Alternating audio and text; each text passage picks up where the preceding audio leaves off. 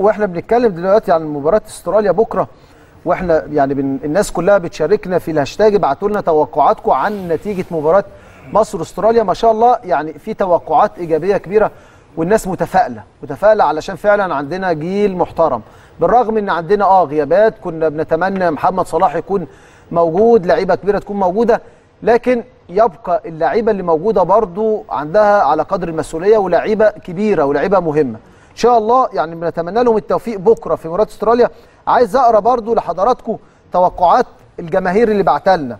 أحمد إبراهيم بيقول إن شاء الله مصر هتكسب بكرة 2-0 عمرو صلاح بيقول إن شاء الله فوز المنتخب 2 مقابل لا شيء. أبو حفصة 2-1 للمنتخب المصري. إن شاء الله. كيمو بيقول 3-2 لصالح مصر.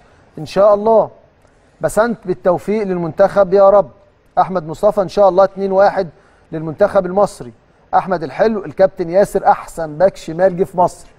أحسن باك شمال جه في مصر كابتن ياسر لا. لا, لا في كتير كويسين لا بصراحة. لا وكابتن ياسر طبعا من الأسماء الكبيرة آه بس في لعيبة لا. في لعيبة في المكان ده. طول عمر النادي الأهلي المكان ده مميز عامة يعني. وأنا أتفق معاك.